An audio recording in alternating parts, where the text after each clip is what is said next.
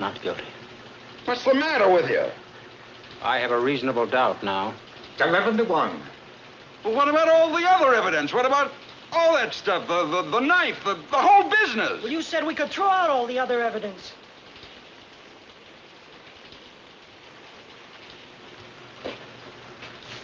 Well, what do we do now? You're alone. I don't care whether I'm alone or not. It's my right. It's your right.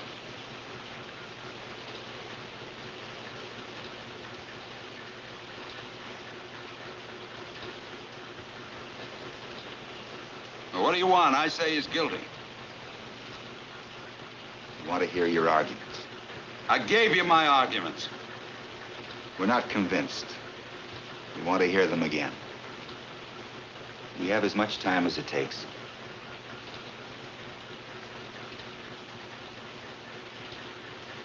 Everything.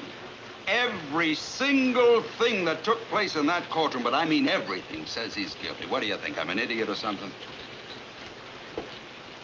Why don't you take that stuff about the old man? The old man who lived there and heard everything. Or this business about the knife. What, because we found another one exactly like it?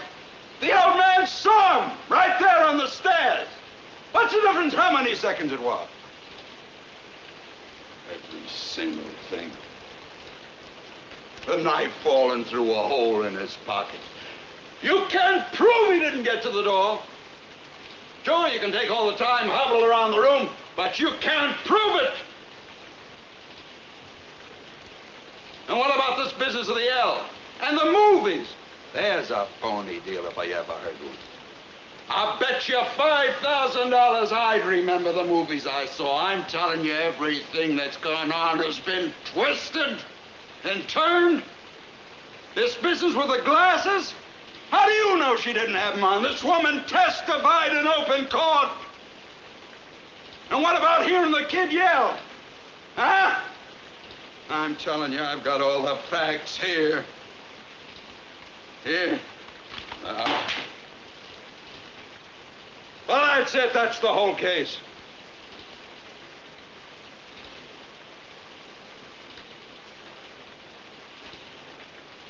Well?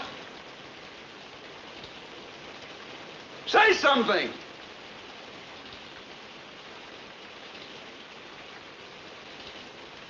You lousy bunch of bleeding hearts. You're not going to intimidate me. I'm entitled to my opinion. Rotten kids, you work your life out.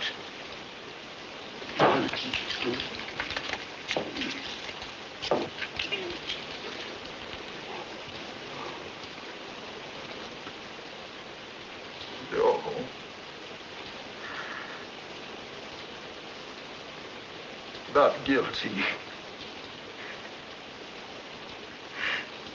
Not guilty.